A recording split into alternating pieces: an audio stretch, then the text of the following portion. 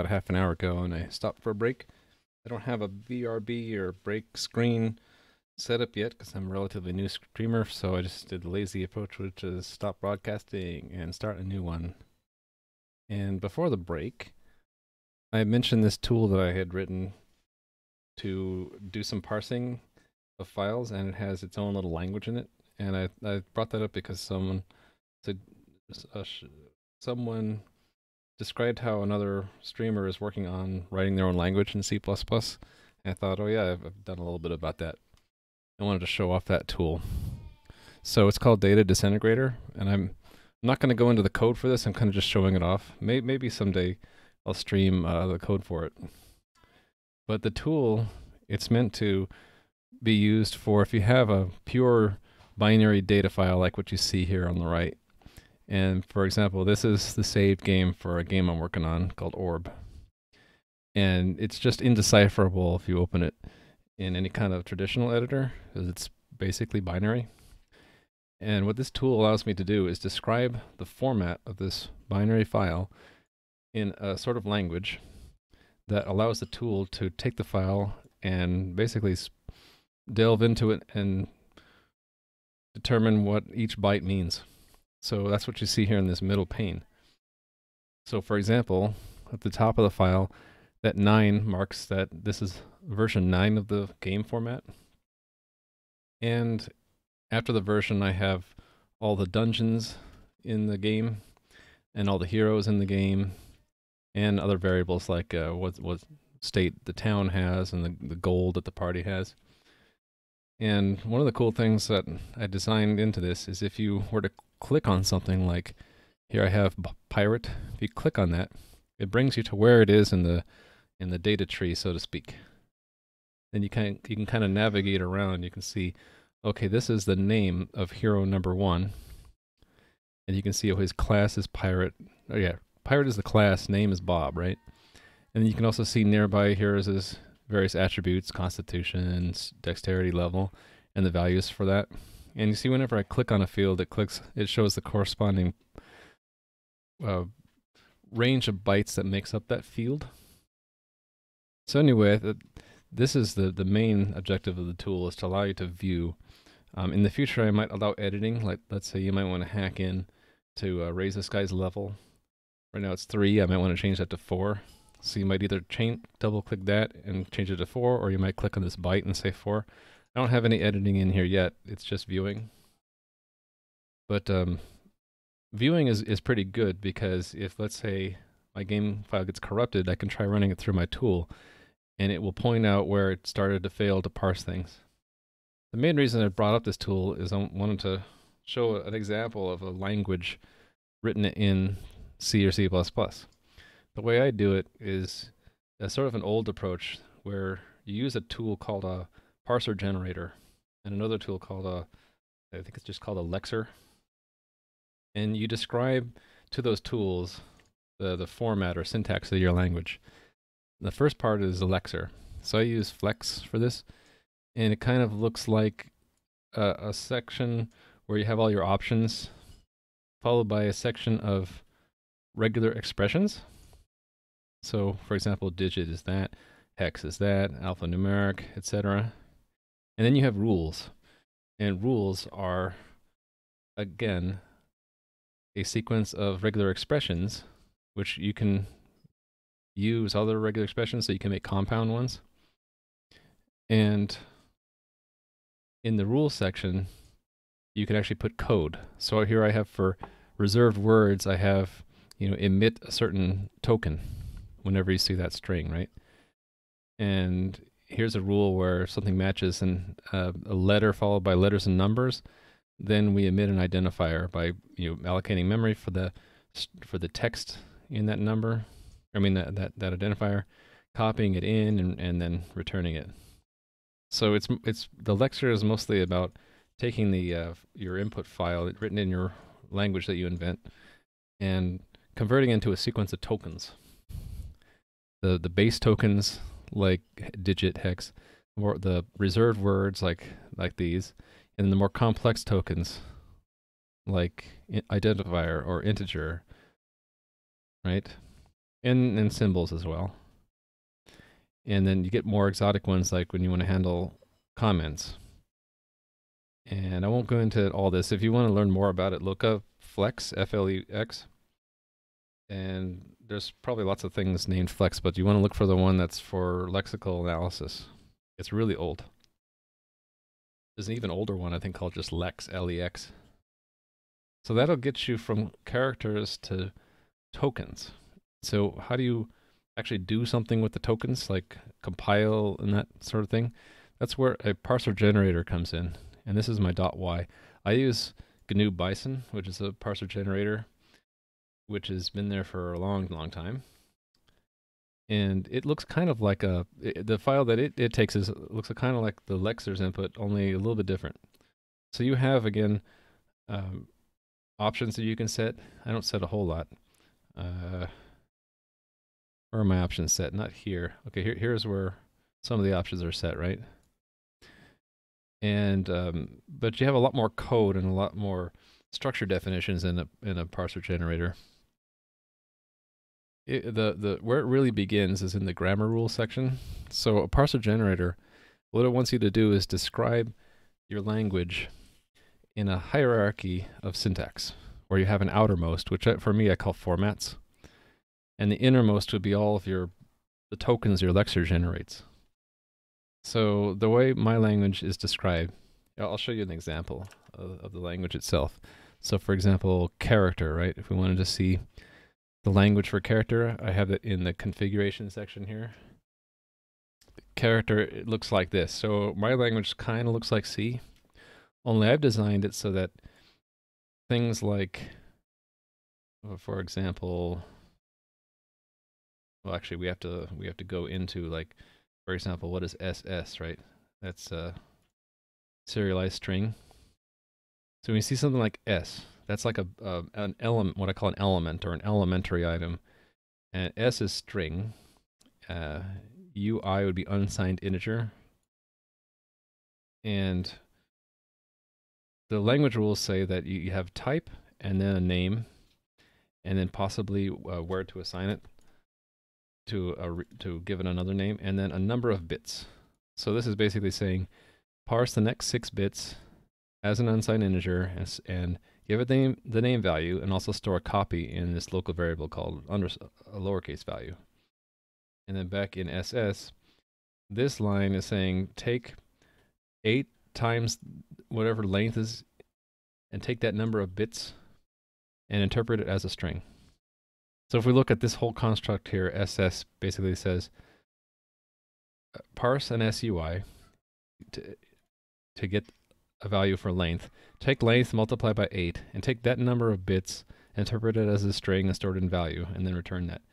SUI is a little bit complicated because I let integers be any length basically while there are more bits, you read seven bits into as a use, unsigned integer, and you repeat this until this special bit flag, which is one bit always, until that's false, and then you return the value.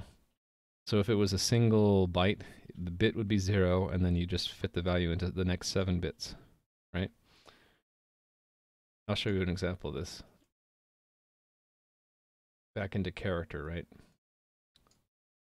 Character. Version. A character starts with a version number, right?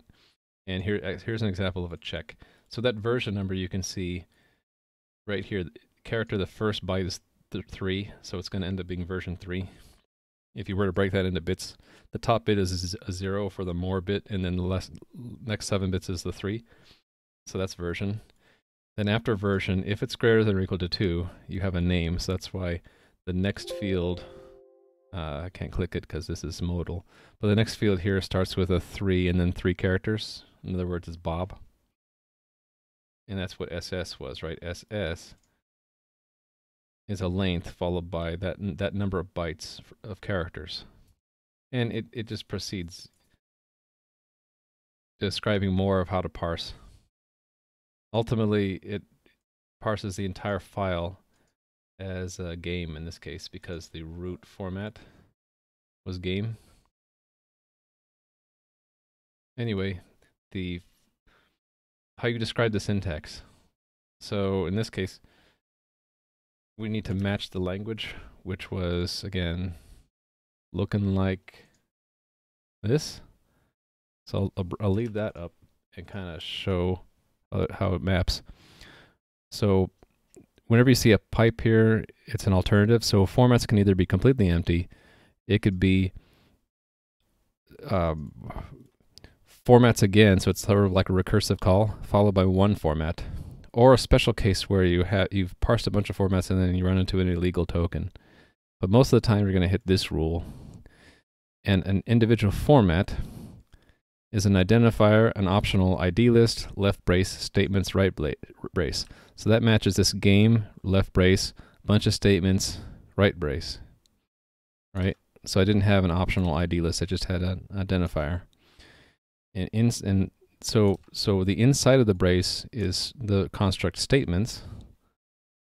You can see how this goes, right? Statements can either be empty or it could be a bunch of statements that came before and then another statement or the case where you run into an Ill illegal token. That's mostly to, to help catch errors and show where the error was in the syntax error, right? Normally, you'll hit this rule, and you'll just be chaining together statements. An individual statement is a statement body. Statement body can either be a, a an element or a part, or it could be a bunch of different things. Like you can have, what is this? Uh, the same as a part, but it doesn't get assigned to a name. Conditional logic, so you have if. Here's a how you, a for loop is specified, while loop. So you're basically describing the syntax of your language. What are all the different kinds of statements you can have?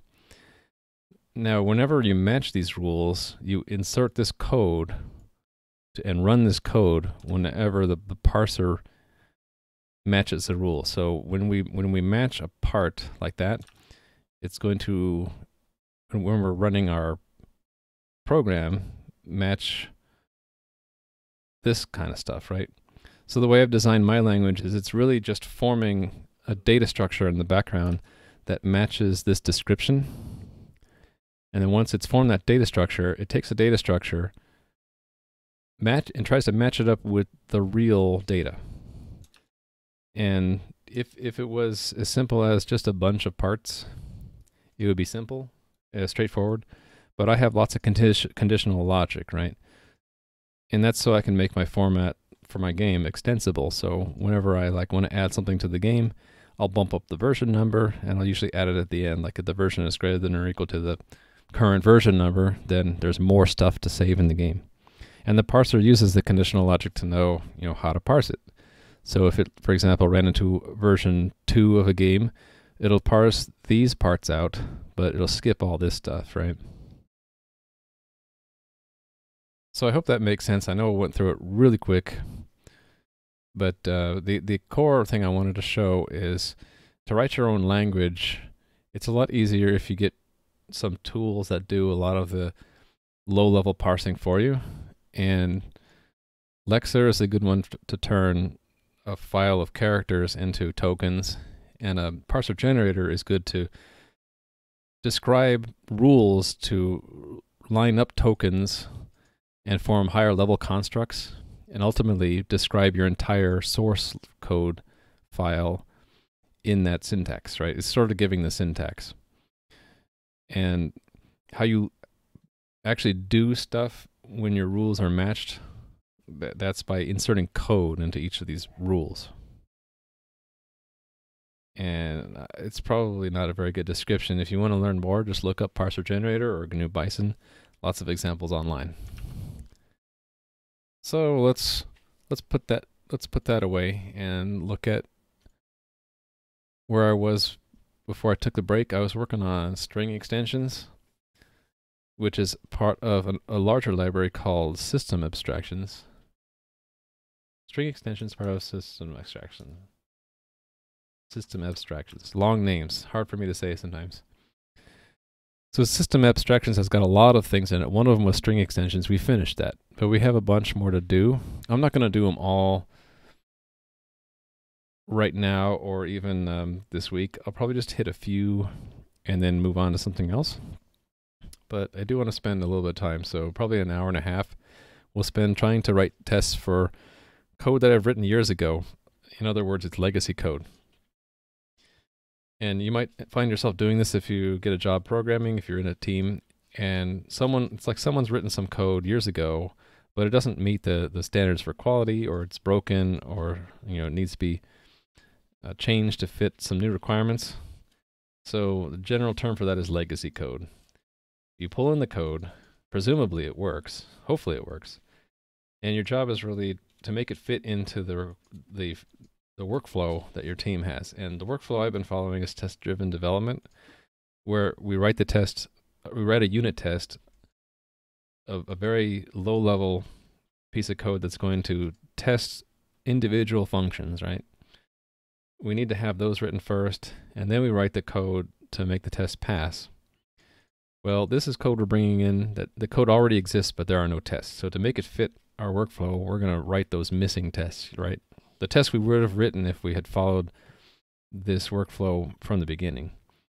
So now we have string extensions test. Let's make the next one. So I'm going to pick from this list. Actually, it's probably better look at VS Code. So I don't know about clipboard. Some of these are more difficult to test than others. Time maybe? Time might be time is interesting because it it's going to tell you the current time, so it's always going to tell you something different. It's really hard to um, to predict what time he'll run it at, so maybe not that one. Um, target info again, it's going to depend on where you run it. Sub process, that's where we run two programs. One is a parent and one is a child. String file might be a good one. So string file class looks like a file on the outside, but internally it stores it in memory. This might be a good thing to test. The requirements of this class are essentially that it looks like a file. So a good test would be to create one, to write something to it, then set the position back to the beginning, read it back, and verify that it, it, it comes back out uncorrupted. And then we can test other things like we should be able to clone or make another instance of the file, of the string file, and it should still work. Actually, not only still work, but each one should have its own file pointer, so to speak. And there's some other methods, like we can test string file that has an initial value versus, you know, in a string versus an initial vector of bytes value versus a I think this has a default constructor. I guess the default would be that it's an empty string. And we can test, there's a typecast operator we can test. We can test assignment. So let's do that. This shouldn't be too hard. So in VS Code, since it's most convenient, I'll just take the last test we wrote, copy and paste it, and rename this to string file tests. And then we're going to go into that and Control Shift L to select all versions of that. Oh, wait a minute. I need to get the S2. Get the whole string. Control Shift L and then start start typing string file. And this module contains unit tests of the system abstractions string file class, as opposed to the last test was testing plain functions. All right. So let's clear away these old tests. And for now, we'll just make a placeholder that does nothing. Because first I want to make sure that this new file gets built and, and runs correctly. So we're using CMake, so I'm going to go into CMake list and add it to our list here. Source string file tests.cpp. And we should be able to go back to Visual Studio now and just hit build. It'll run CMake again. It'll, it'll ask us to reload our solution. Now when we build, we will should have, yeah, string file tests there. And if I run our unit tests,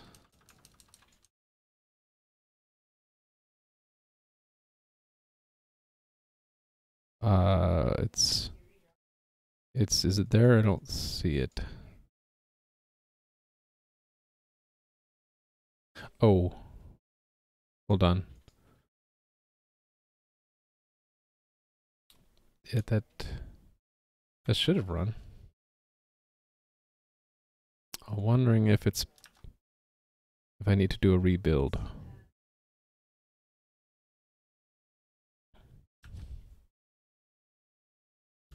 Let's force a build of that.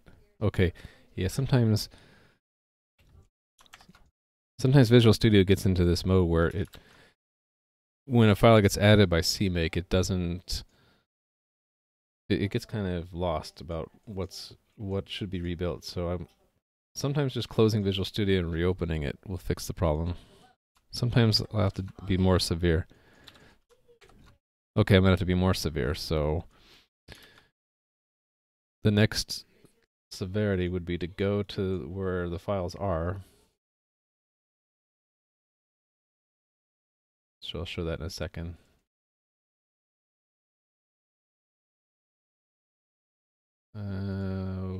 Okay. So here in our build folder, we had this .vs directory. Sometimes we have to wipe that out. I think it's because Visual Studio's cache gets into an inconsistent state. Now when we reload Visual Studio, we'll have wiped out its cache so it won't remember what project we want to run by default, so I have to reset that to this. And of course it lost all, all of our editor tabs and all that. But if I make a change here, it should recognize it needs to rebuild. Okay, still isn't, still isn't. I wonder why. What if I manually compile that?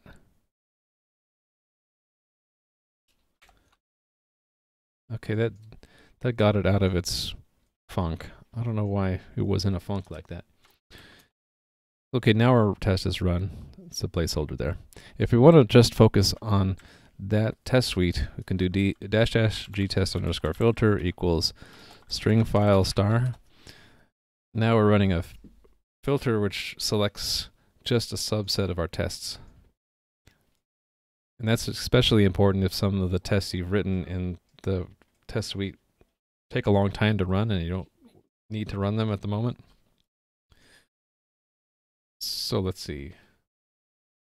This is probably a good point to check in early and check in often, right? I'm going to use that tool I wrote that checks all of the Git repositories in the solution to make sure that everything is uh, either checked in or, or not.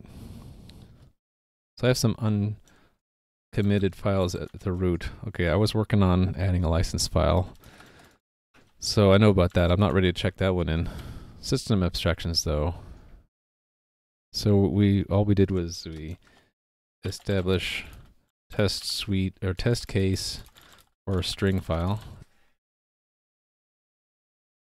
Okay, now we can move on. So let's see, what can we do with the string file? Probably, let's open it first. It's under system abstractions, header files, string file.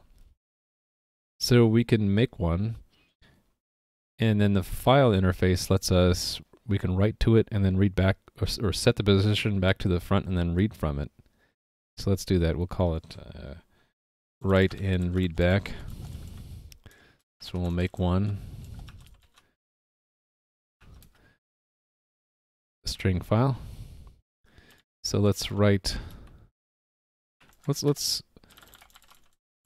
make a test string. Hello world. And we'll write that test string out. So it has two overloads. It can take a pointer to just opaque data, or it can take a buffer. I believe buffer is a vector of characters. But let me check. It's defined in ifile. Yeah, vector of characters. So we might want to test both. We'll use the overload that takes a generic uh, pointer. So that would be test string dot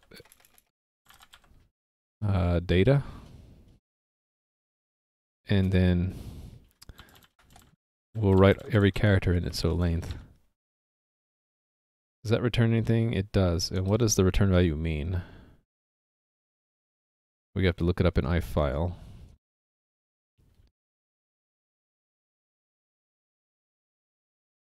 Okay, it's the number of bytes actually written, so we need to assert that we expect the entire string to be written.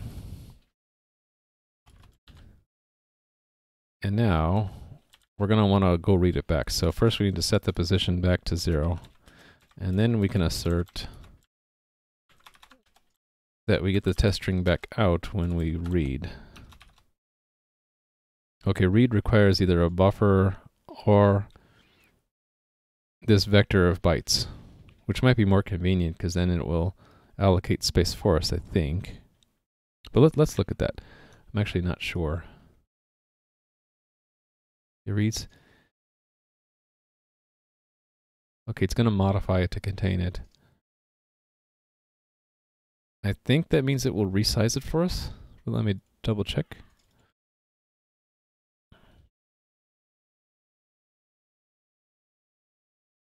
Okay, if you give it zero for the number of bytes to read, it reads as many as what you already have in the buffer. Okay, so it doesn't resize the buffer. So we're going to need to set the size for it. So we'll make we'll make a buffer i file. Is it is it in any namespace? It is. buffer. And we'll just initialize it with the size, which would be the test string's length.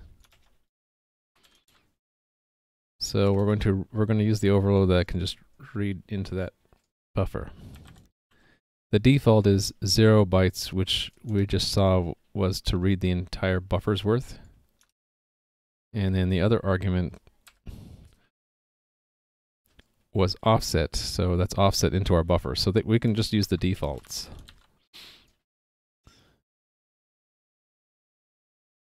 Okay, read doesn't return the string, so it returns the number of characters, so it's similar to this assert up here. But after we, after we reread it, we want to assert that it's the same. So if we the buffer is a vector of characters. To convert the vector of characters into a string, I think you just say string, and you give it the beginning and ending iterators of the buffer. So let's let's make sure that this works. And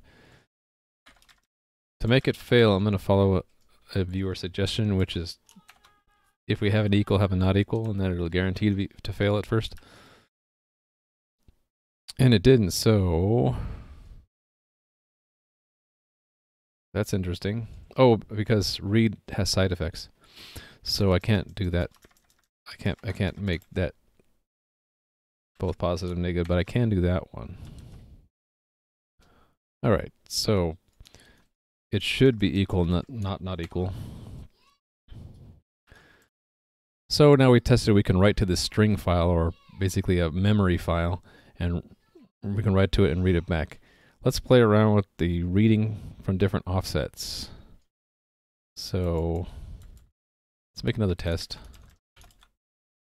Write and read back. We're focused on read read back with offset or with size and offset.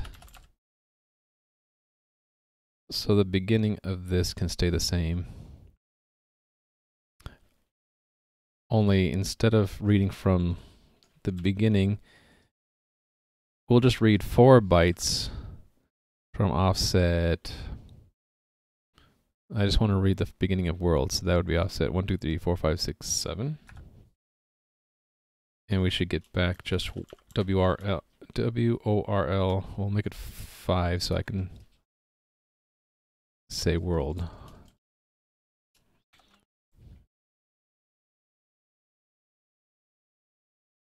Okay, the length is wrong, so which is correct. We should get 5 back out.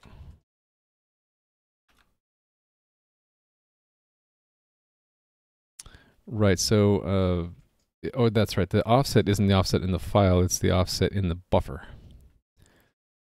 So, it's not going to be, it's going to be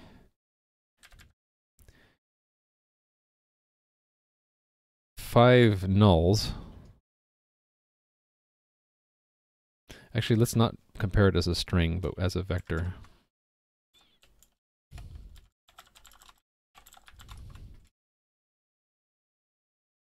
So five zeros followed by the characters H, E, L.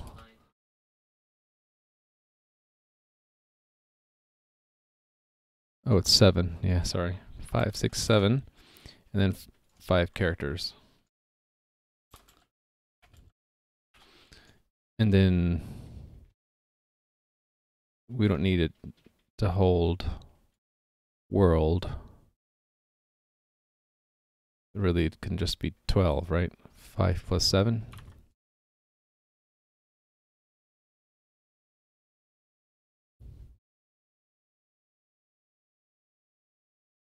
And we can just say buffer here. All right, so we're good. So we're testing actually two things. Reading back again the offset uh what is it uh 7 this is an offset not into the file but into the into the buffer and we're only reading five characters from the beginning. Offset in buffer. Well let's just test both at the same time. So if we wanted to just read world and not hello we would also we would go to the seventh character. Right? And let's make it a different offset of 2. Or how about 3? Then I can say 9 or something like that. So we expect three zeros, and we expect world here. And then an extra 0, because 3 plus 5 plus 1 is 9. So that tests both an offset in the file, an offset in the buffer and a size of the read, which is smaller than what's in the file. So it's a, it's a small subset both in the file and in the buffer. So that's a good comprehensive test of reading with sizes and offsets. So what else do we need to test? There's a peek.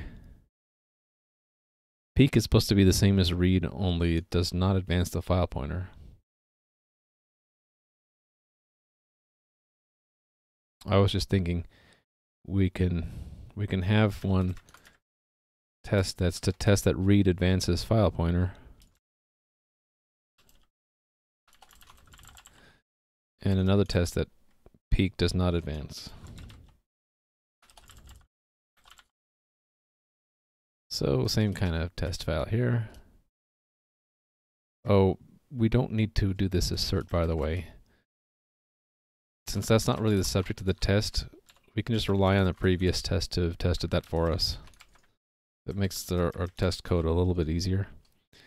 Another thing we could do, since the setup is the com is common between a lot of these tests, we could collect them together into a, a fixture. I'm wondering if I should do that now or not. This one doesn't really have the same beginning. Yeah, I'll just I'll save that till later. So read advances the pointer.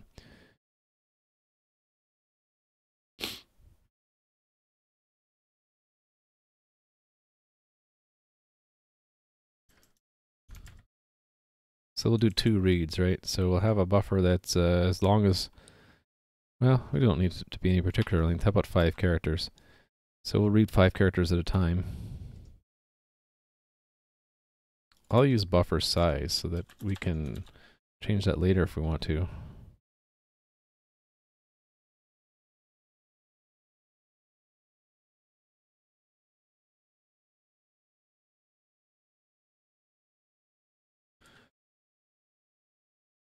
Okay. So it's going to read five characters at a time. So the first read should be hello and the second read should be comma space W O R L uh, W O R.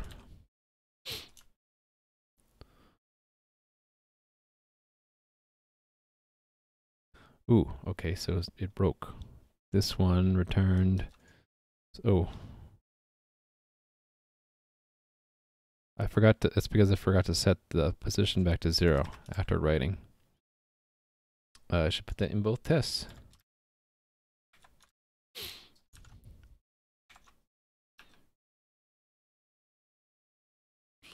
Okay, good. So that this test now proves that sequential reads, or basically each read advances the file pointer.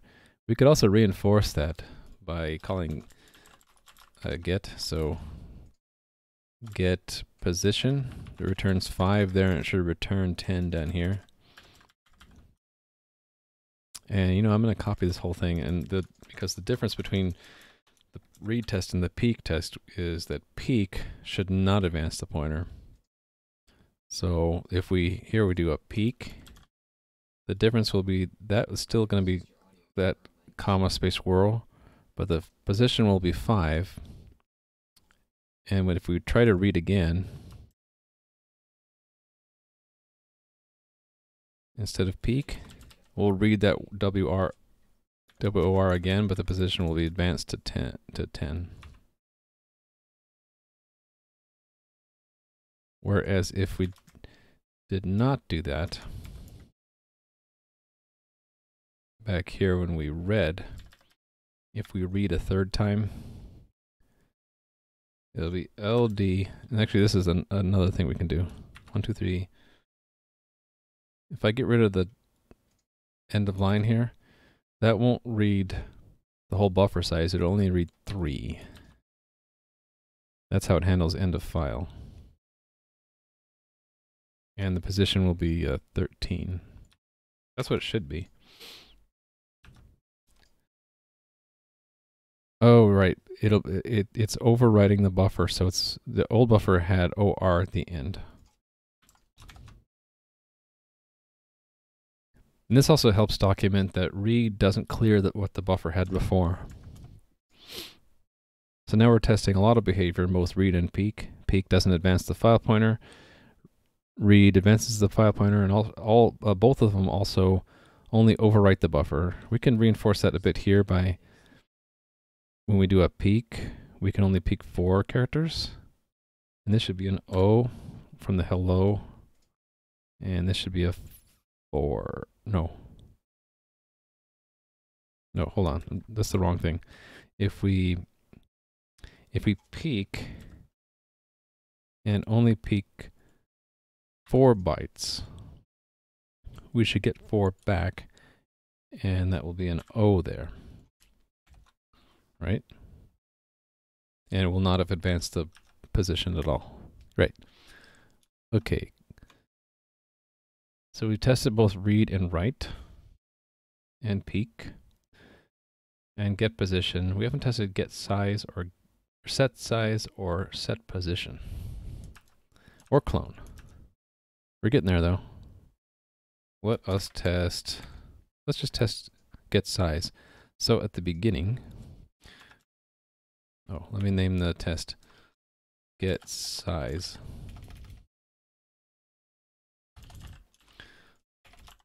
It should be zero at the beginning.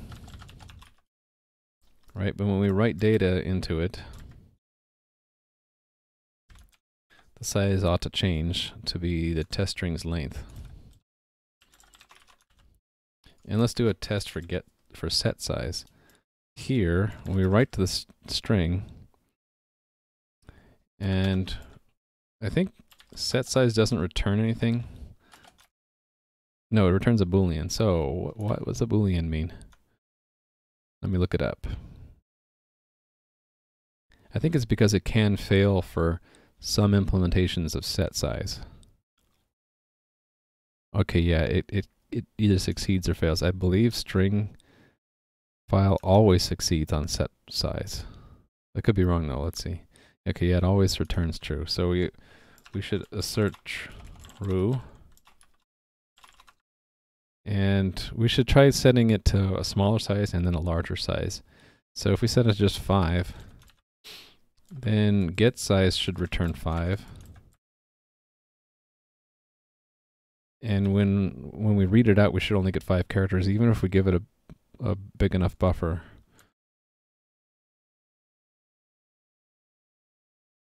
Like this.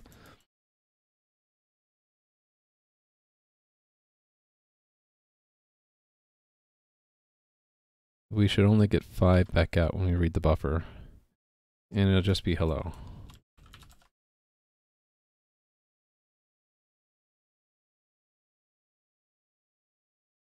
Uh, with a bunch of zeros, right? Um, just for convenience, instead of making the buffer as, long as our test string, we'll just make it eight characters. So then I'll just, it'll be three zeros after the end. Oh, and, um, hmm. That's problematic for a C string to do it that way. So I had another test where I, here we go. I had this, had a different kind of way to, we just check it as a vector. So it's hello. Oh, do I, don't I have that spelled out somewhere?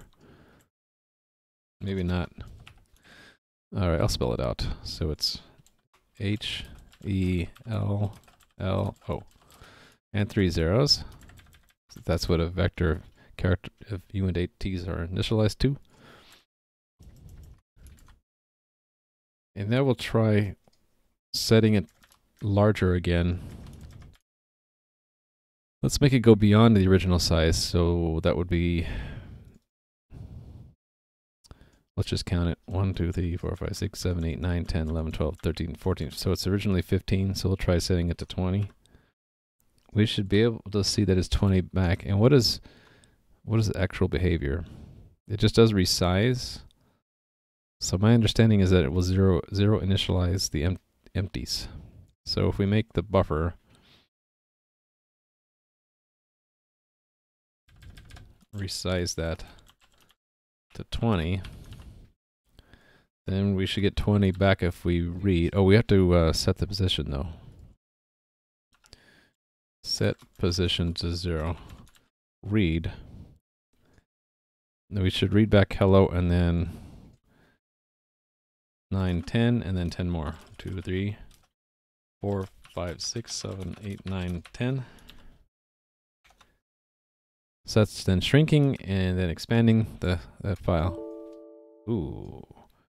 I got a crash. Let's see where it crashed. Okay, I don't need this memory window anymore. Okay, subscript out of range.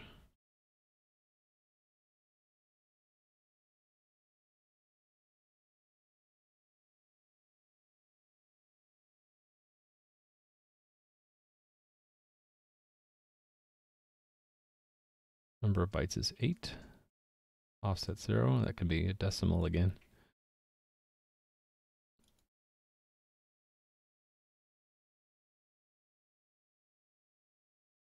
Oh, there's no check if you go past the end of the file. Hmm. There should be. What's the minimum? Hold on. Oh, that's a bug. We just uncovered a bug in legacy code. When we set size to 5, the position got set to 15 somehow. How did that happen? It shouldn't have, should have been still at 0.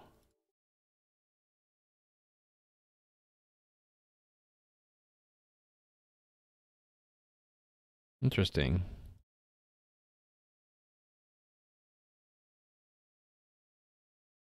Oh, because the write pointer puts it at the end. Yeah, so the bug is that the, the, the file pointer is at 15. Set size should have backed the file pointer back out. Or alternatively, maybe the file pointer is at beyond the end of the file, and the read should have returned zero, right? So let's let's let's do it. Let's tell it what we should expect. We should expect we don't read anything, but if we do what I forgot to do, basically, is set the position back to zero, and then read again, we should get those five characters. Okay, that's cool. This is why it's worthwhile to do a unit test for legacy code because we actually uncovered a bug. Let's go fix the bug. So the bug is that in read, it assumes position because these are unsigned. These are size t, so they're unsigned. It's assuming that position is less than or equal to the size, but it's not. So I need to basically put a clamp on the position. The position can no, be no more than the size of the, you know, basically the buffer. That's going to clamp it. Now our test pass.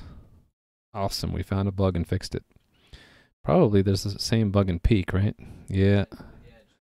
Same bug in peek. Oh, uh, hold on. Before I blindly fix it, should probably have a test case for that, right? Make our test suite harder.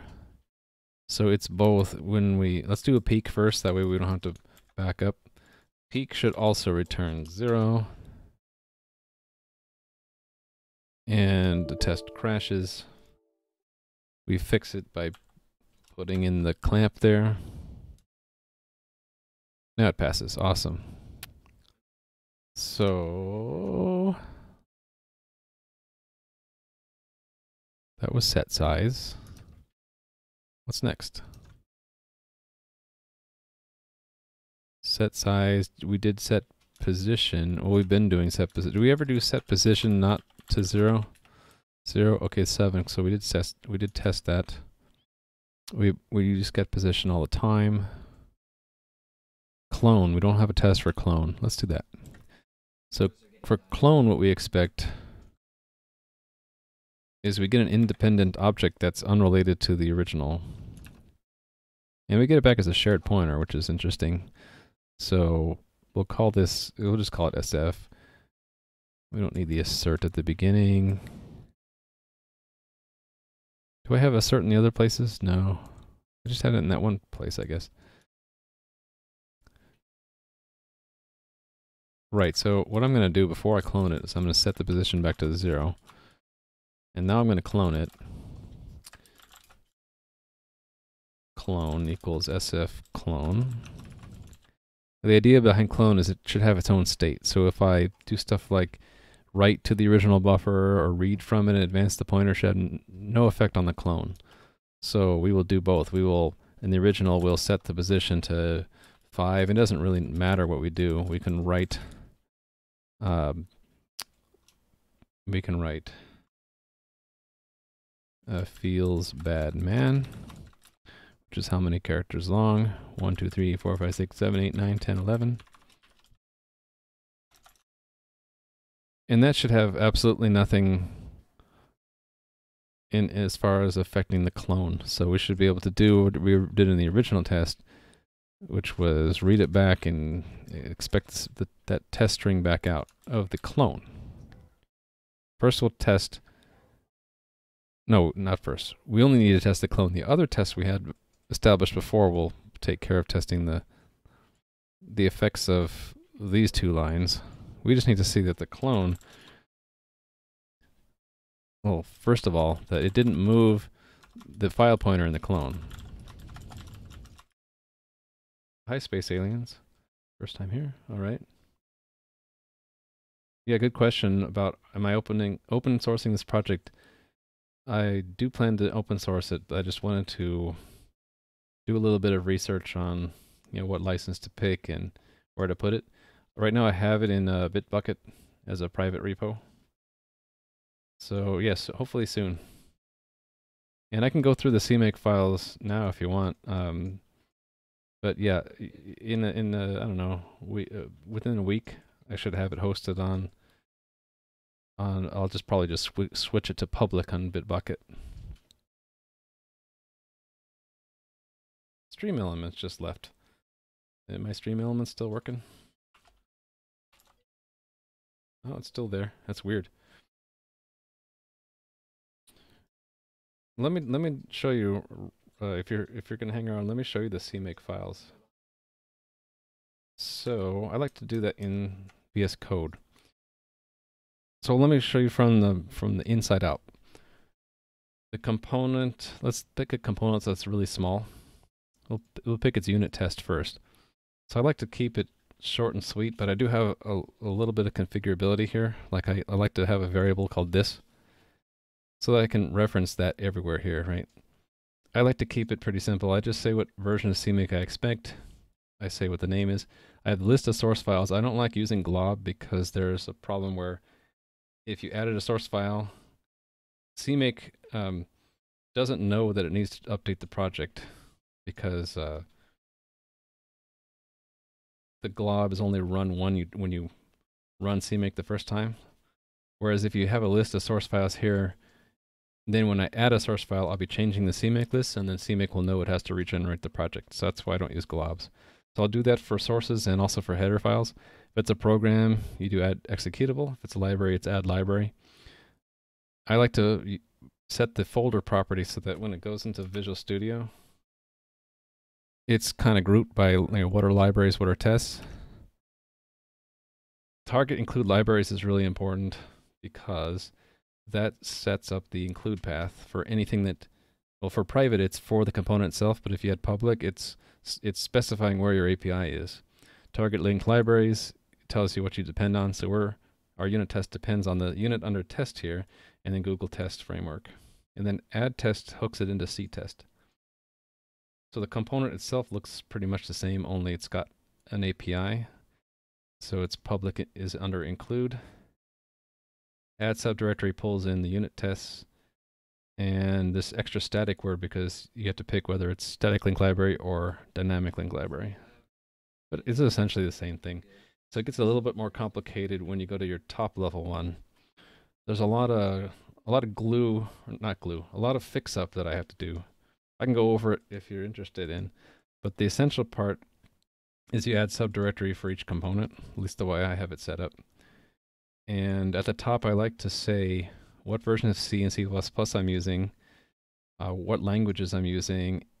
I like to set position independent code on because I think it defaults to off. And I don't really understand why. Position independent code should, I think, in my opinion, always be on. You need enable testing for ctest to work, I think. And then this little bit is to make this friendly to be encapsulated in, into an even larger project. What this says is basically only run this junk if it if this is the top level. But if it's included in an even bigger project, all this stuff gets skipped. The reason for it is setting things like um, the C flags for everybody. It's sort of a rude thing to do to other people's projects that are outside yours. So I'm only going to set them for um, in the case where this is the root of the whole workspace. And why am I doing some of this stuff? I have this option here combined with this down here. No, combined with all this for um, choosing whether or not the runtime library, like the standard library, is going to be sta statically linked. And there's a typo there. Statically linked or not. The reason to statically link the runtime library is, at least from Windows, when you give your program out, they don't the users of your program don't need to install the Visual Studio redistributables. If you if you link dynamically, they would have to install it, and that can be kind of a pain for some people. And the difference is this compiler flag. So it defaults to being dynamically linked. So if we turn on this option, which I'll do if I distribute it to people who don't want to download something else, it will swap MD for MT and then everything's good. Google test has a similar flag, so I have it force the Google test flag one way or the other. Uh, you need this set property if you want the folders thing to work. The folders thing being this stuff, the folder property. Uh, this this stuff was really useful to add for Linux and Mac in order for if you make a program to be able to find its plugins if it's in the same directory. And it's a little bit different between Linux and Apple. So on Linux, the key is to make this value go into what's called the R path or the relative path. And Apple, it's a little bit different. It's at loader path. If you don't do that, then your plugins aren't by default discoverable, even if they're in the same directory as your program. And I think that's for security reasons. On Windows, you don't have to do this because it's by default. If you load a DLL, it'll search the same directory as your exe and it can find it there. Uh, I personally don't like the lowercase d being added to the names of libraries if you make the debug build, so I turn that off. Uh, I don't like Microsoft being a nanny about security warnings, so I turn those off globally that way. And I, by default, enabled Google Test, but not GMock because I don't use that yet. And I'm making sure gtest appears in my libraries folder. I used to have to do a lot more to um, massage or, or fit Google Test into my CMake stuff, but Google's gotten a lot better lately with their CMake support, so a lot fewer things I have to do. And then I'm not sure why I do this setting the output directory to be the binary directory. I don't remember why. There was some reason I don't remember. I should have a comment here. It deserves one, doesn't it? Yeah, try, you're trying to teach yourself to use CMake has been a kind of a headache. That's what everyone I've talked to thinks. And actually, at my job, I've had to do a lot of convincing for it. The benefits, I think, outweigh the, the cost. The cost, first of all, I'm sure you know, is that it's a very steep learning curve. This custom language is pretty obscure. There's a lot of uh, improvement, a lot of room for improvement in the manual for CMake. It's it's a mess, I think. But the the benefits, I try to argue, benefits far outweigh the cost. The benefits, the primary benefit is that I don't have to force anyone to use a particular version of tool, right? Um, when you run CMake, you can pick whatever version of Visual Studio you want. You could pick Ninja or GNU Make or anything else. And I don't have to really worry too much about the differences between build systems. I let CMake do that for me. So I've done scons and GNU Make and other stuff for proprietary and CMake, even though there's a bit of a learning curve, I, I, I totally prefer it now over these other build systems for maintaining like a flexible approach where anyone can run any kind of version of Visual Studio or GNU stuff they want.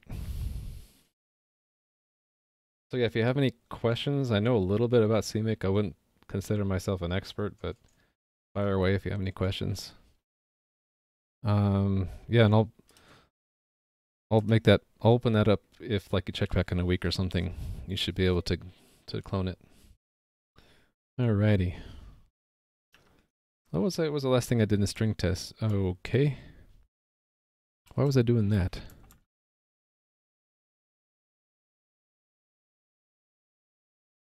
I kind of lost track of what I was doing with this.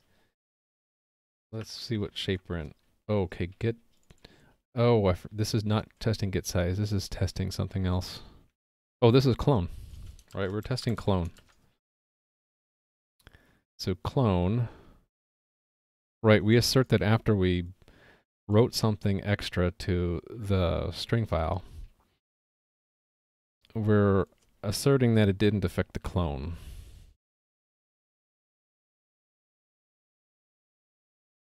So yeah, it should not, the, its pointer should not have changed and we read it out, we should read that original string and not anything that might have been modified. Okay, I guess we were done with that. This might might be a good time to check in because I think I've covered all of all of the um, file contract. There's some private members that we should also test. But let's check that in and say that we covered all of, oh, we, we also fixed that bug, didn't we? Let's check in the test first. So, uh, write tests for all of the ifile contract of string file. Commit that, and this guy was uh, an, a, leg a legitimate bug. Fix bugs in peek and read. Uh, if the file pointer is beyond the end, I'm starting to think there's probably a bug in read and write. if the pointer position is off the end of the file. If the file pointer is beyond the end of the file, uh, clamp clamp it to the end of the the file when computing the maximum number of bytes to peek or read. Oh, we are looking at peek and read, so I think it's right that I need to double check. Actually, let's write let's write a test for that before you, I even inspect the code. We can test. We can make a test for that. So they'll be right beyond end. So first we write that string, and now we're going to set the position to something way beyond. Well, not way beyond. Let's write something smaller. Yeah, let's let's write it in. Let, let's let's actually be a little bit clever, so to speak, and we'll write the first five bytes hello. Then we'll set it to beyond the where the comma space should should be but that we didn't write. And that doesn't return anything, does it? And then we should be able to write beyond the end. How many do we need? One, two, three, four, five, six, seven, eight. Oh, and that right, uh, okay. I was gonna think, I was gonna say we could use the ifile buffer overload of that, but then this isn't an ifile buffer, it's a string. Anyway. So we, we expect if we write beyond the end, we should get the, the whole length of that string back out. But when we read it, it'll be missing the comma, right?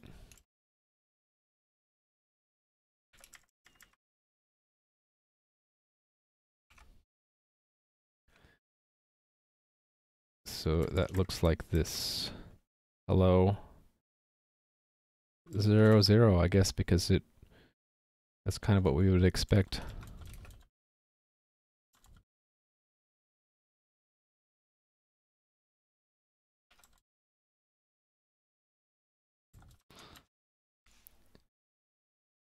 And then we should be able to set the position into the middle. and write the missing comma and it should come back.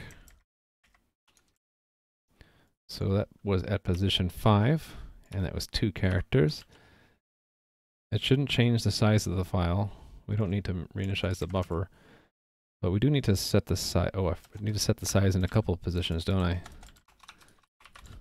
I set it there and then right before we read.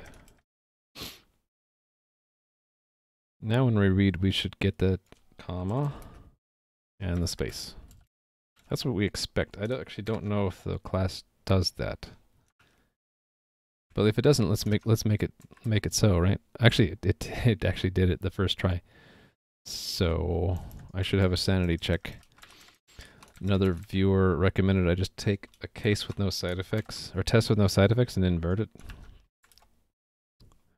And then one of the two will definitely fail, right? So it failed. So we're good. I actually didn't think that would work, but I guess it, it does extend with zeros. Let's see. Okay, yeah, so it resizes it if we go past the end. And resize will fill with zero, so that's exactly what we want. That's great. All right. Let's check that in. Ooh. Oops. Okay. We didn't have to fix anything. We just add a test or writing beyond the end. Actually, it's more than beyond the end. It's right beyond and in the middle. Right beyond, end, and into middle.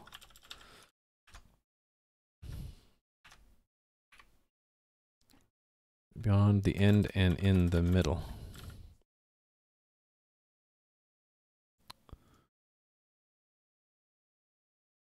Okay. So we've covered the ifile contract. So we could test assignment operator for strings. That's easy enough. And actually we can test at the same time. Oh no, I was saying these two at the same time, but really we should test them independently based on other tests. So let's pick let's pick a basic test here. So there's several ways. We could give it the string in the constructor. We could give it a vector in the constructor. And we could assign it as a string or a vector. So this will be construct from string. And we simply take that string and pass it to the constructor. And we should be able to read it back out. Right? And we'll have a, a variation of it as a vector. And there, I already have it right here. It's exactly what I want.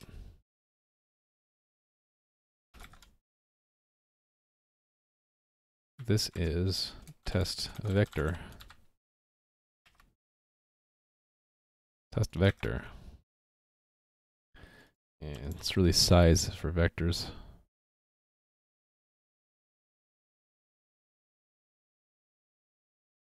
And here we can just compare the test vector with the buffer. Right? And now let's test assignment. Assignment should work the same way. There we don't give it anything in the constructor, but we do the assignment.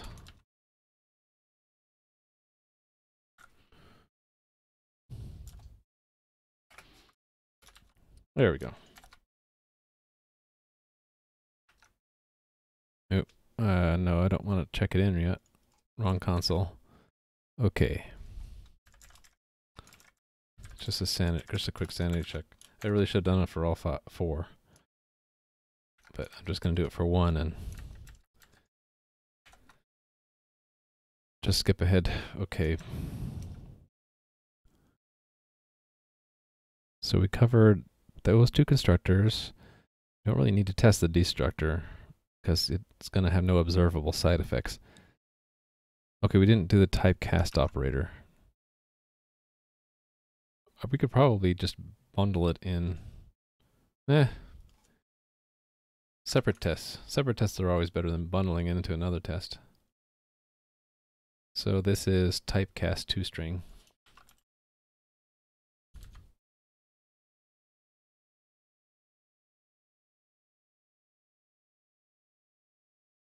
So it's really pretty short because all we need to do, oh, hold on.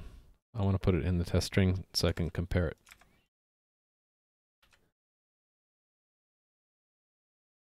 It's just assert that the test string equals the uh, string file because it should be convertible. Oh, I mashed the assert equal, didn't I? There we go. That's as short of, it's like the shortest test we have for this class.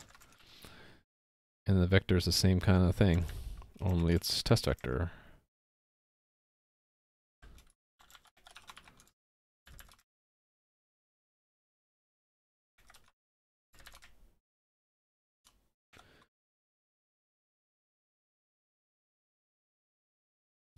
Type cast to vector.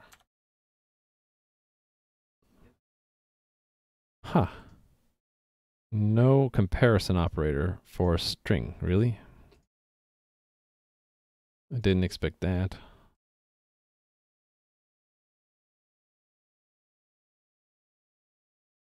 Oh, is it because it does not, it's not trying to typecast it?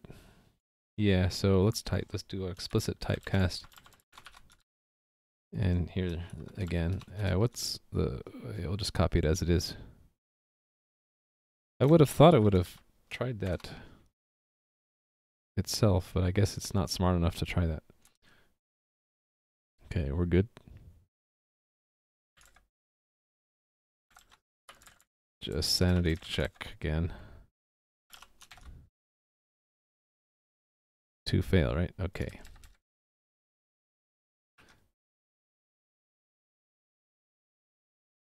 Okay, did we cover everything now? I can actually finish up string file.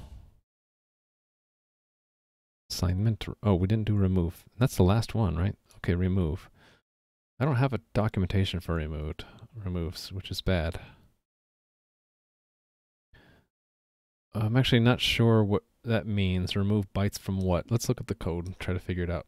Self-documenting code, right? Okay. Remove. It's going to erase from the beginning to the beginning plus the number of bytes. So it removes from the front? So why didn't I name it remove from front? And then it makes, it clamps the, what is it saying, max?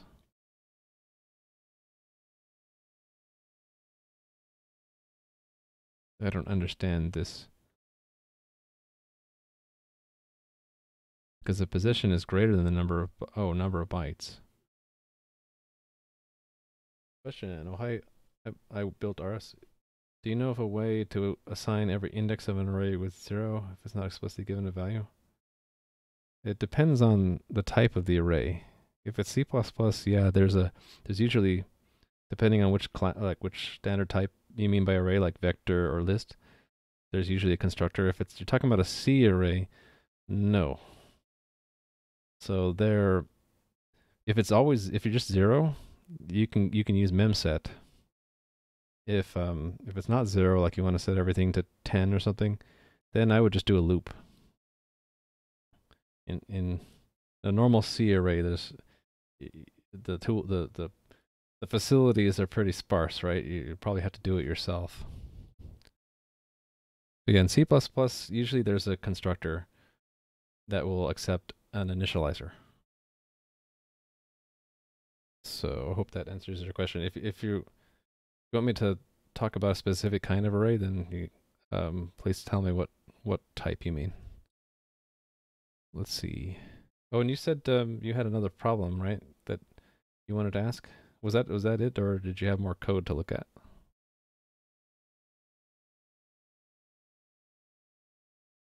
Yeah. So really quickly in VS Code. So if it's something like um, int, right? foo and you had like a hundred. So in the code, if it's zero, you can probably get away with doing this. Uh, foo with zero, right? Uh, let me let me check the manual. One of those things I always forget. Okay, yeah, it is it is a count. So it would be zero and then the count. Oops, I don't want to save. That's what I would do because it's really fast. But let's say you want to initialize it to something else. Well, yeah, so if, if you just want to fill the rest of it with zero, I would just do a memset. Because it, that works both for integers and floating point numbers.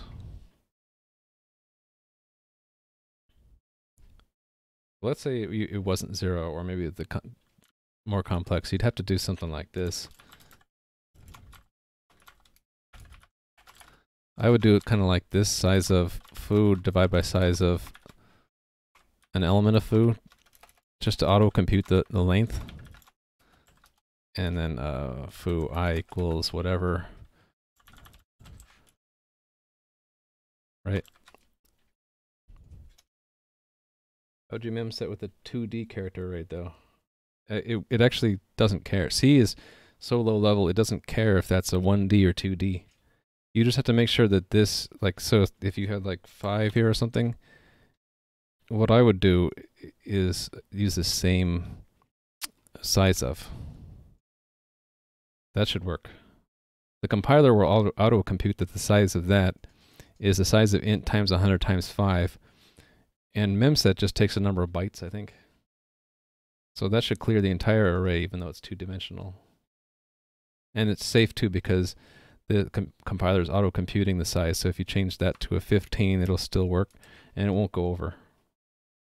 Let me double check. Memset.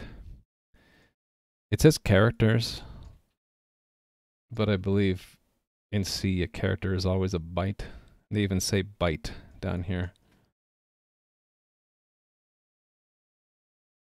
So yes. Yeah, they say they say number of bytes. I kind of don't like how they sometimes they say characters and sometimes they say bytes. And if you're wondering, I always do that if a function has a return value and we're explicitly ignoring it. But a lot of people will just say that. Yeah. Uh, back to Visual Studio.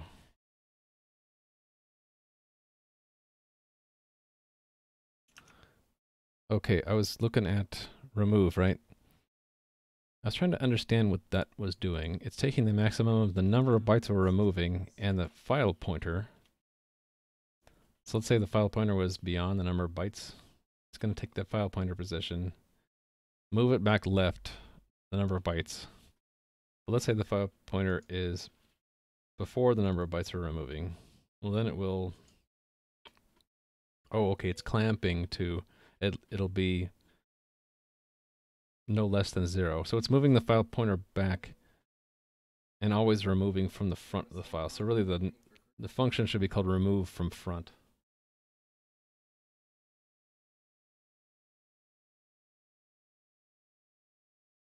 Okay, um, I'll wait till you write the whole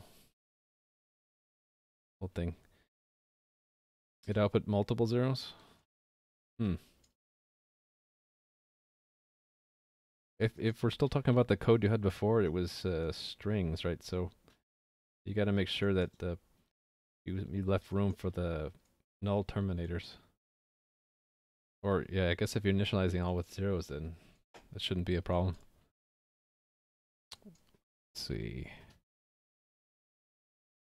I'm not going to change the name of this function yet because it'll probably break everything that uses it, but I will write a document that's missing. This method removes the given number of bytes from the front of the string and moves the file pointer back at most uh, to either the front of the file or back the same number of bytes removed, whichever is greater? Oh, less. Or closer. All right, so let's see. Data element 015, 1 is 25.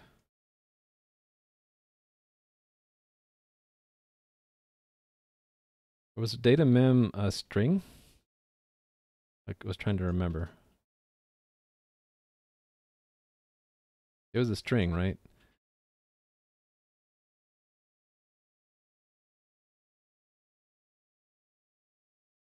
Oh, are you are you initializing with the character zero? Or the or literally zero? Like if I still have that code, right? Are you doing basically that? Or are you doing that? Because they're different, right? Okay, you wanted the character zero.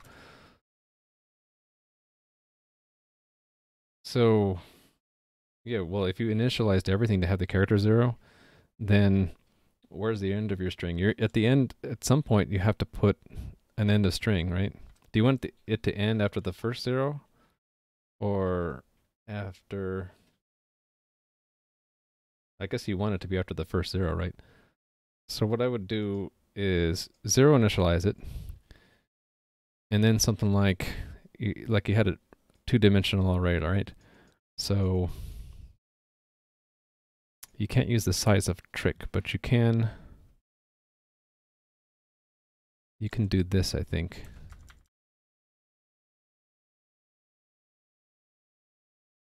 Is that right? That'll give you the number of elements in the first dimension. I think so.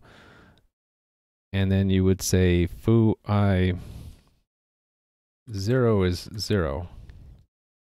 Try something like that. So that'll that puts the null character everywhere, and then this will replace the first character with the with the zero in ASCII. Something like that might might do what you're looking for. So you got that? I can I can post that in chat so you don't lose it.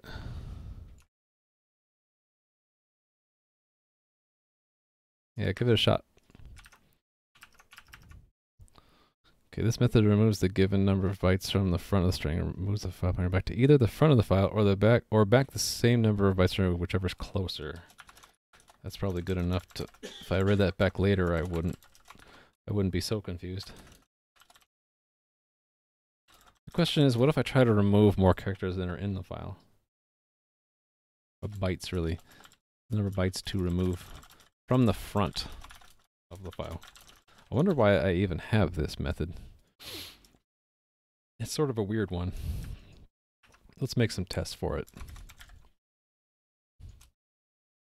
Remove. So we'll we'll test removing zero and a few and a lot. Actually, we should test removing exactly the number of characters that are in the file, and then we should test removing more than this in the file. That's what we should do.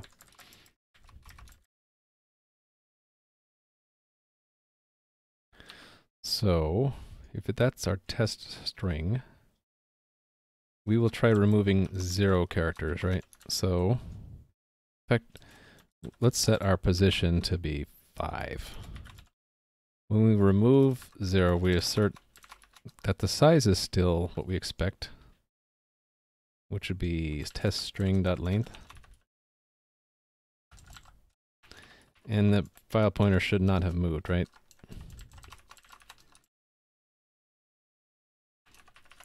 Then we're gonna we're gonna remove more than one, more than. Let's remove a few so that we would expect. Here's where I'm going to say we should have removed two. The position should be three now, and the string should be almost the same. Only we remove the first two characters. Now we'll remove let's say more than the file position, but less than less than what's in the file. So that would be like something like five. So it should remove five more. Position won't go to negative. It should go to zero, and we'll remove five more. It should just be world, right?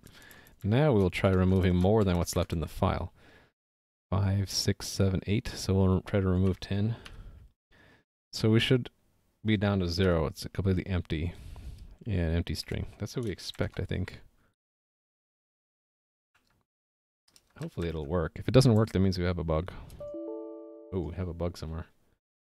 Let us debug that and see the bug. Erase out of range. Okay.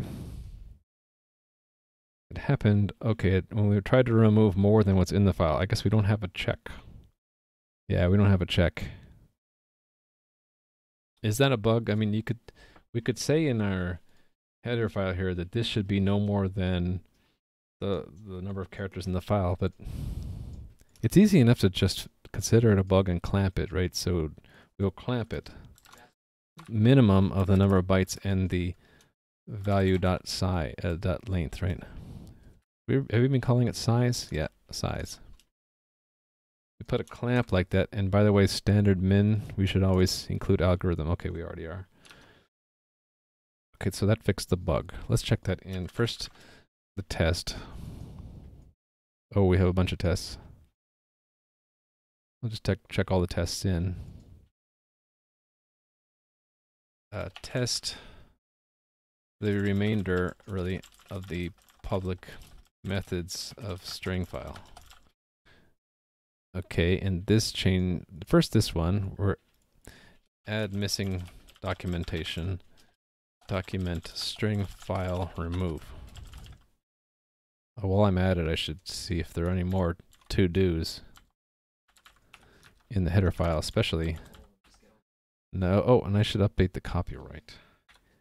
While I'm at it, I really should use the Neato copyright symbol there. It's a problem with Visual Studio though. If if I don't have any non-ASCII characters and I try to do that, it doesn't always save it with the correct encoding. I want it to be UTF-8 encoding. So I'm going to check it by opening in VS Code. Okay, actually it worked. Oh, that's nice. Sometimes it saves it as uh, not UTF-8, but like uh, one of those uh, Windows code pages that allows the symbol but not encoded in UTF-8. Oh, I'm not looking at the right file. String file dot h, right? Okay, now it's good. And there is also string file that cpp. Let's fix that too while we're at it.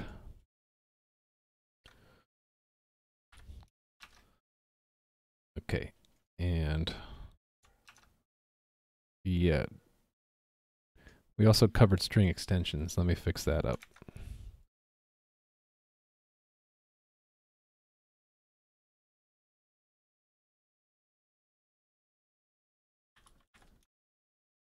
Okay.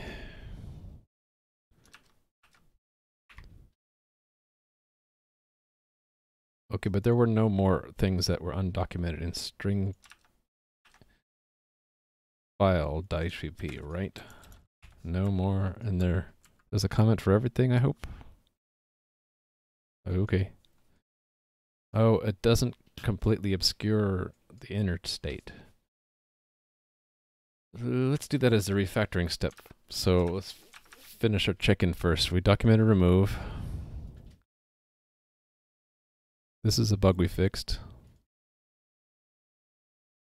Okay, question.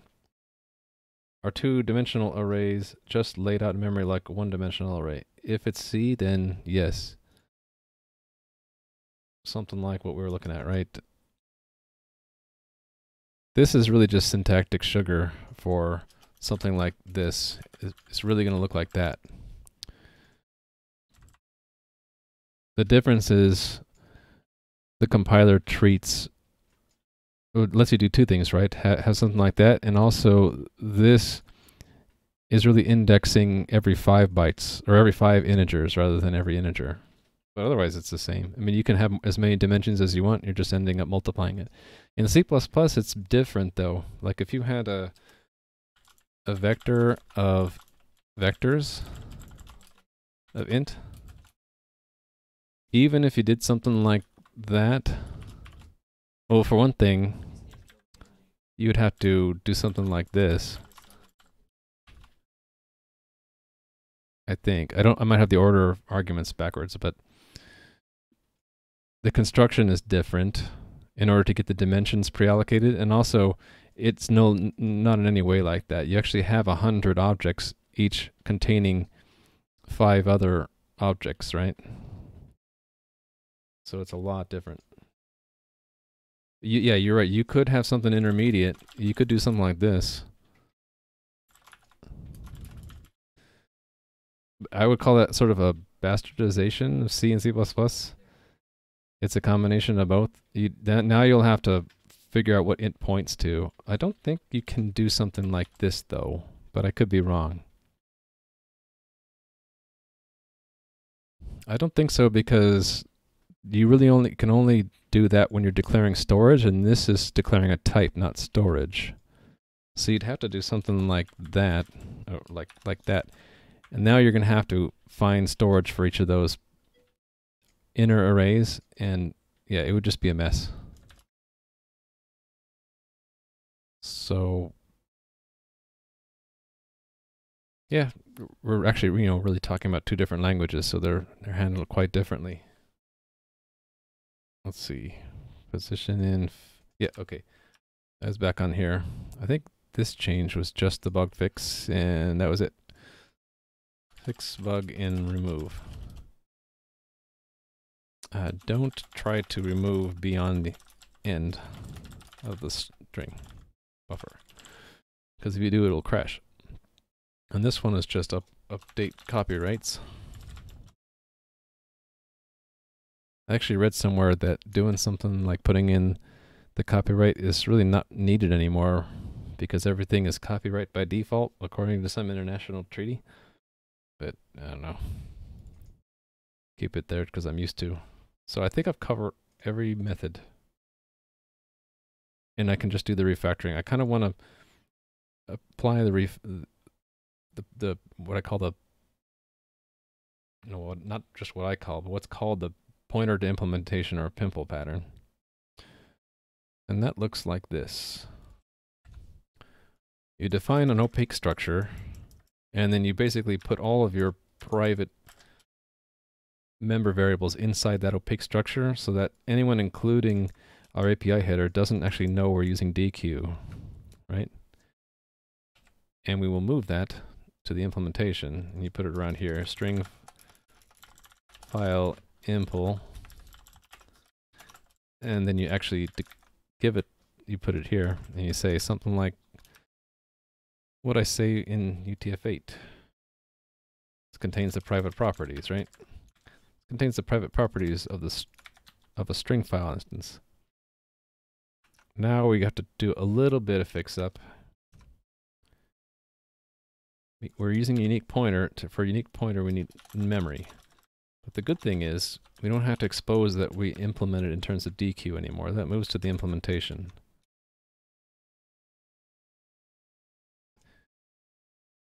I'm actually wondering why are we including standard lib? That might be by accident. Yeah, we don't need standard lib. I don't even think we need standard int. Oh yeah, we do. Standard int, and we need vector, and we need string. Okay.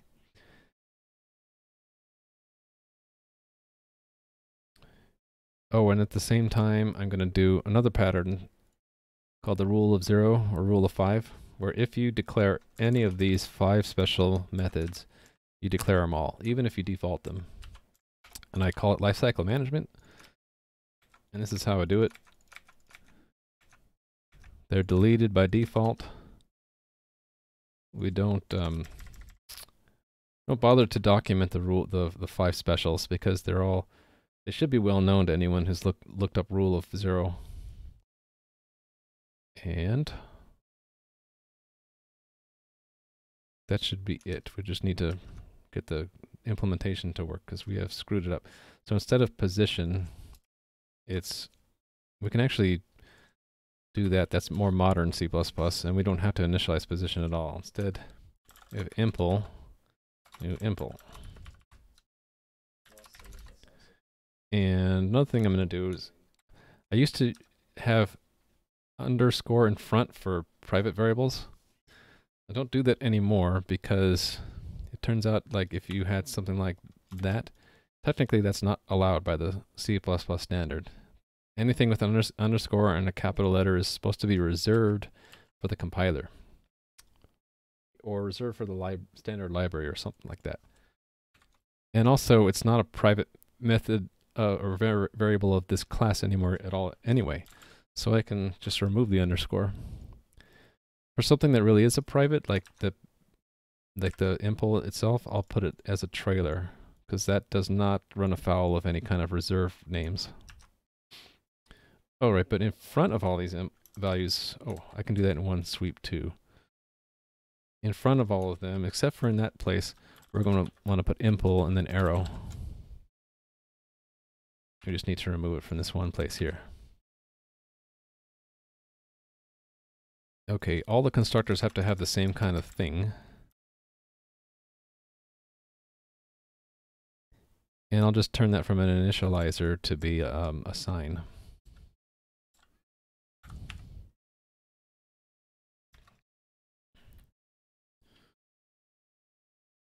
Oh, we need to do the same thing for position. Impl position. Alrighty. I think that's that's it.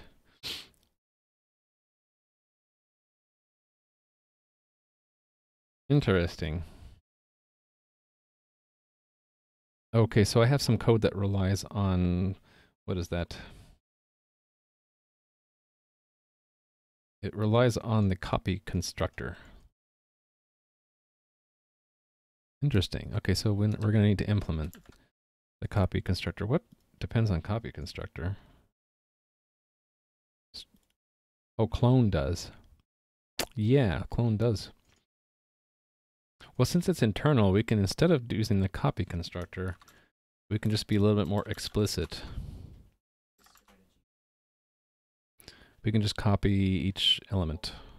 Or really we can we can dereference copy like this. That's probably better. And if we add anything to our implementation, it just gets picked up by the default copy operator for a struct. All right, so that's pure refactoring. So we don't we don't have any changes to our unit test, and they should still pass.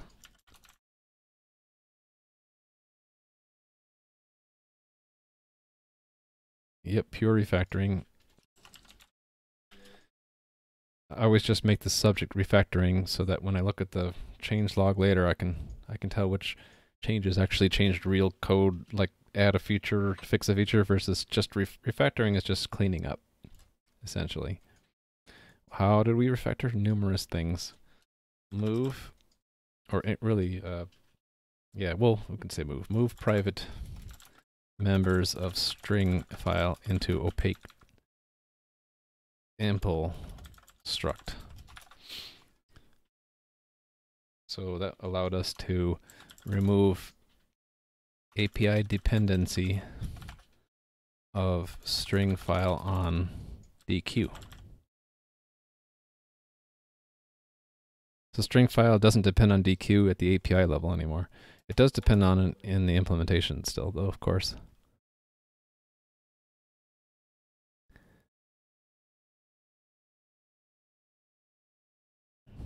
Right. So change private property naming convention. Convention? From leading underscore to no underscore but inside impl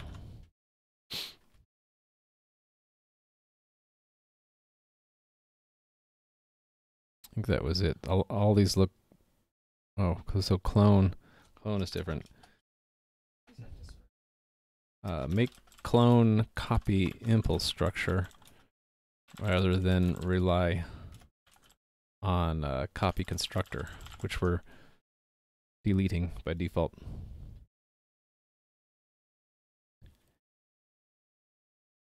It should be good.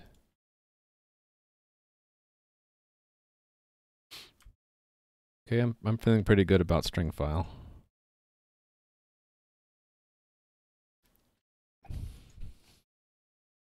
Okay, I'm just looking at the time. I'm supposed to end by 7, so that's 17 minutes from now. So I should probably start wrapping up the stream. I apologize if you're coming in late, but uh, really needed this stream to be no more than two hours long. I will start wrapping up. I'll talk about what I've done before and what I'm going to be doing next time, in, in case that sounds interesting, and try to give you an idea of my schedule. So, what we did this time, I'll, since it, it was like a two-parter, I'll go back to stream 11. So we did this earlier. At the beginning of my stream today, no, here. Oh, I forgot to, I totally forgot to set up a page for this stream. Shoot. Okay, I'll, I'll fix that. So anyway, what I started on today, I was working on a class called UTF-8, which is handling Unicode, which is International Character Set encodings. Yesterday I mostly wrote it. Today I was finishing it up. We did we wrote code to detect invalid encodings. Several different rules we had to make sure were followed. And then we started bringing in this old library I started a couple years ago that I need need to freshen up. So we're I updated its directory structure, started setting up unit tests for parts of it. It didn't have any tests at all, so I was treating it like what we call legacy code.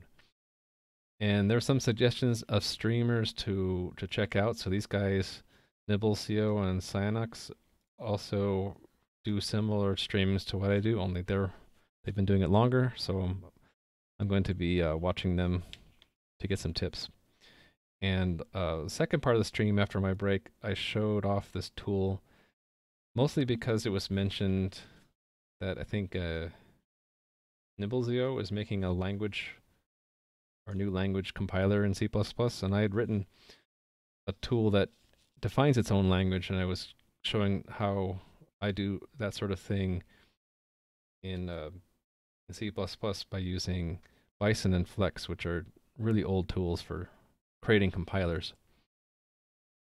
And oh, I still need to do this mentioned like two or three streams ago the strategy pattern, but I don't have that in my my list. So yeah, we finished up the UTF-8 stream nicely and brought in the new library without too much work. I took a break and I came back and did string file. So we have both string extensions and string file done. And if I look at the list in VS Code, sorry, in VS Code, we've done string extensions and string file. There's a couple ones that are going to be really hard to test, so I might not do them right away. I might postpone that for, I don't know, weeks or months. But I'll, I'll be looking through, in the short term, my plan is to look through to see if there are any of these other classes that I can make uh, unit tests for. We've already found some bugs, so unit tests are good to have. Once I have good enough coverage of that, we're going to be moving on. So next on my plans would be medium term.